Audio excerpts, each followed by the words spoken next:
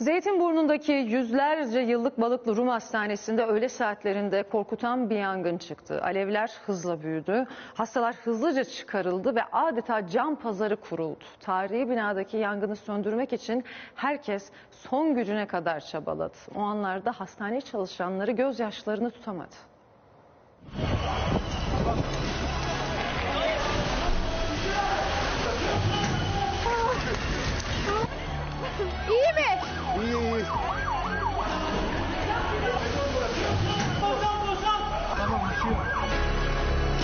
Panik, korku, dehşet, tarihi hastane cayır cayır yandı, binayı alevler, gökyüzünü kara dumanlar sardı.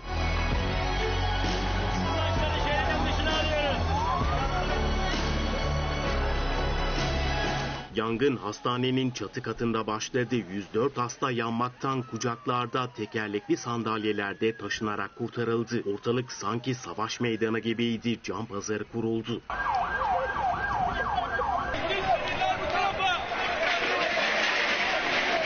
Bakım evinden şu anda hastalar ekipler tarafından dışarıya çıkarılmaya çalışılıyor.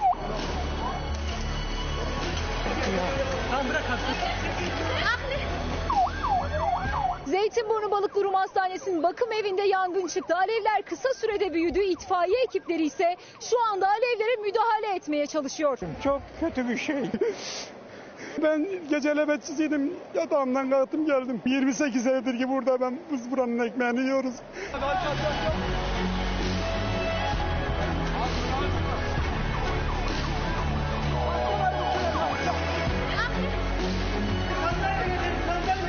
Çalışanlar, çevredekiler, kısacası yangını gören herkes can hıraş yardım etti. Tüpler patlamasın diye binadan çıkarıldı. Biz yemekteydik. Haber geldi ihtiyarhane çatıdan duman çıkıyor. Yaşlı bakım evi yani. Yaşlılar burada kalıyor. İçeride miydiniz Evet. peki? İyi misiniz? İyiyim çok Geçmiş şükür. olsun. Çok şükür.